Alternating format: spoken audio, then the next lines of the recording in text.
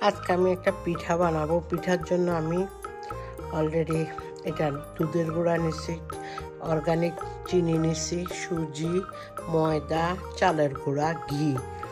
এটাকে আমি, সাথে আমি বেকিং পাউডার লবণ এবং একটু এলাচির গুঁড়া। আমি অলরেডি এটা সরি আমি দেখাতে ভুলে গেছি। ওটা মিক্স করছি। ওটা আমার আছে, কারণ এখানে জায়গা হইতেছে না এই জন্য আমি এটা দেখাতে পারিনি। আমি এখন এটা আমার বড় মেয়ে আজকে কয়দিন থেকে বলতেছে সে এই পিঠাটা খাবে। তা আমি ওর জন্যই অ্যাকচুয়ালি আজকে পিঠাটা বানানো। দেখেন আমি পিঠাগুলো বানাইতেছি এবং আপনাদের সাথে শেয়ার করতেছি যে পিঠাগুলো কীভাবে আমি বানাবো।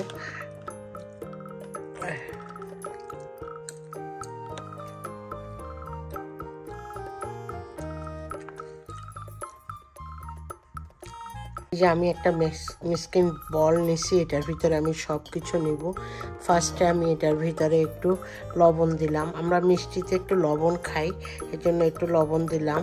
তারপরে এখানে একটু এলাচির গুঁড়া দিলাম। এই যে, তারপরে আমি এখানে বেকিং সোডাটা দিলাম। প্রথমে আমি একটু সুজিটারে টেলে নিই। কারণ টানলে হবে কি? সবচেয়ে ভালো জিনিস হলো টানলে আপনার একটা যে গন্ধ থাকে, পুরনো গন্ধ, এটা চলে যায় এবং পিঠাগুলো খুব মানে মচমচা হয়, ভালো লাগে। তা আমি অলওয়েজ এইভাবেই পিঠাটা বানাই। তা আমি একটু সুজিটাকে টেলে নিই, টেলে আমি আস্তে আস্তে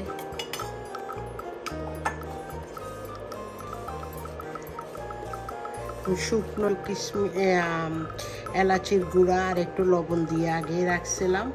এই যে এখন এটা দিয়ে দিলাম, সুজিটা দিয়ে দিলাম। সুজির পরে আমি একটু চালের গুঁড়া, এটা ময়দা ময়দাটার একটু টেলে নিই ময়দাটারে টেলে নিতে হবে একটু।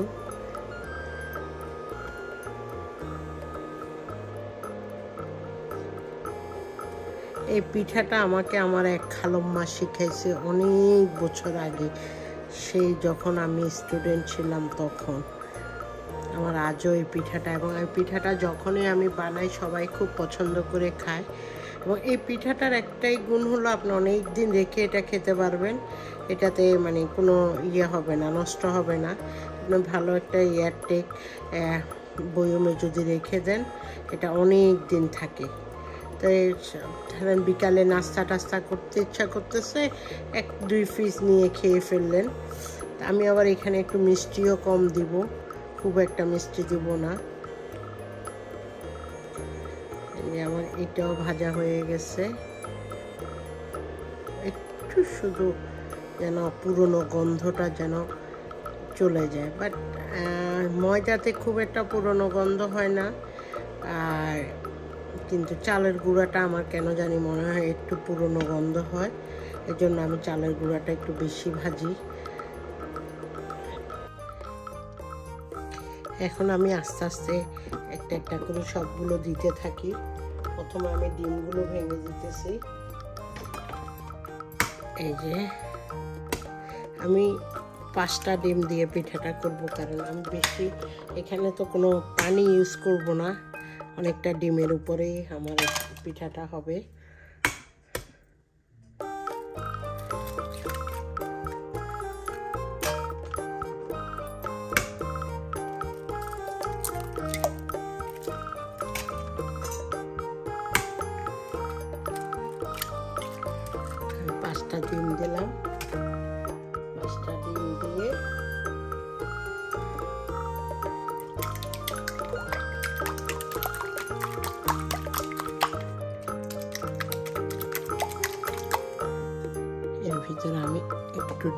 দিয়ে দিই।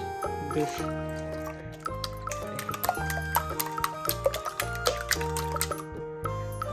একটু কালার দিই কালারটা সুন্দর আসবে।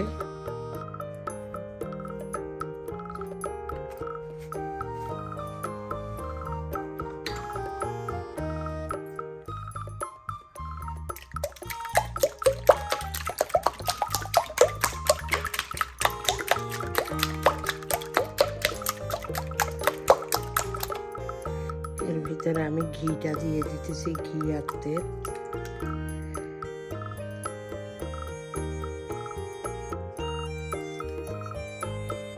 আমি তিন চামচ তেল আর এটা হলো চিনি।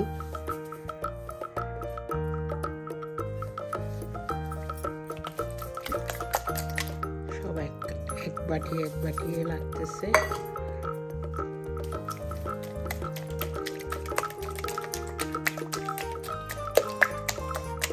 যদি আমার মনে করি যে আটা দিলে আমার আরও দুধ দিতে হবে, তখন আমি দুধ আরও ইউজ করব। এটা হলো পাউডারের দুধ। আমি এক কাপ পাউডারের দুধ দিলাম।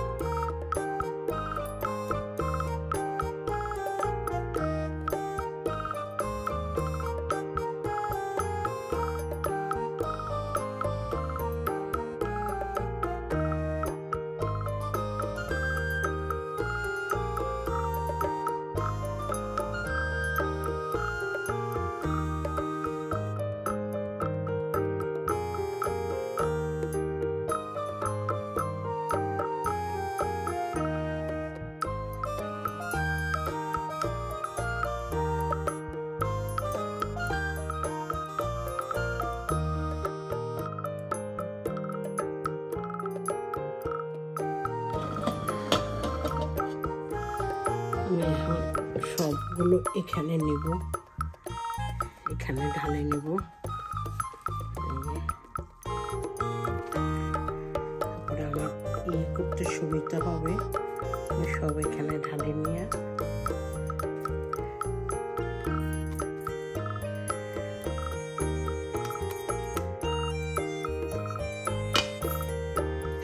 এই যে এগুলি এখন আমি কতক্ষণ এটারে ইয়ে করে রাখছি?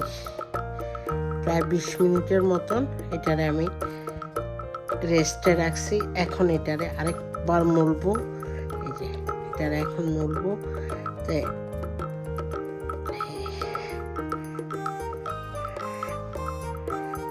আমি এটা এখানে নিয়ে যাব।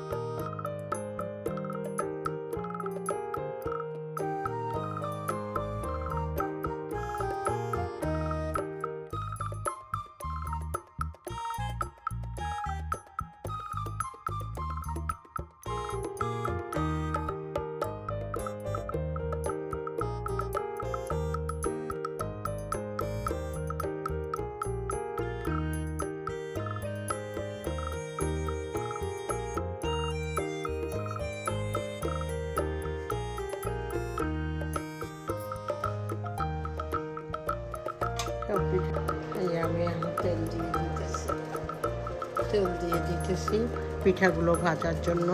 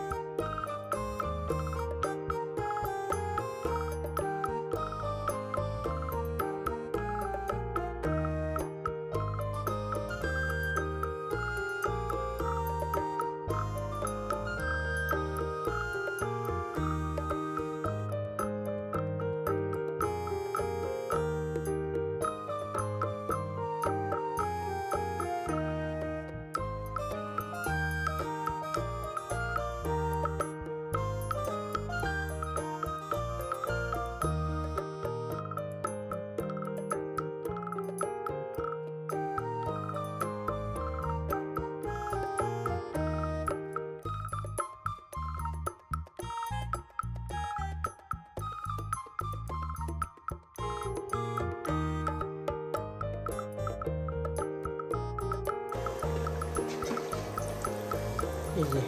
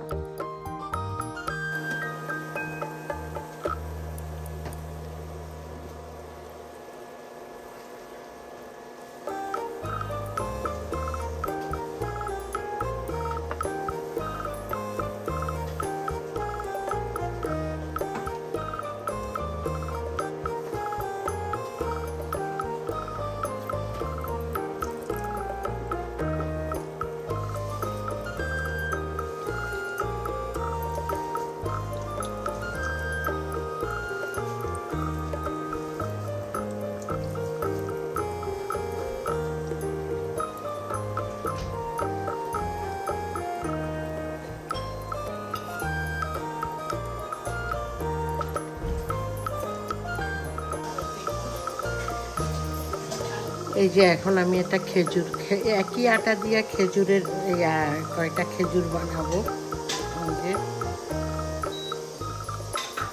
আস্তে আস্তে হতে হবে বেশি এটা এটারে আমি বানাইছি কীভাবে, এটাও আপনাদেরকে দেখাই। এইভাবে হাতে করে করে তারপরে ছুরি দিয়ে একটা দাগ দিয়ে দিছি এই। এটা যখন হবে, খেজুরের মতন হবে। এই যে, খেজুরের মতন হয়ে গেছে।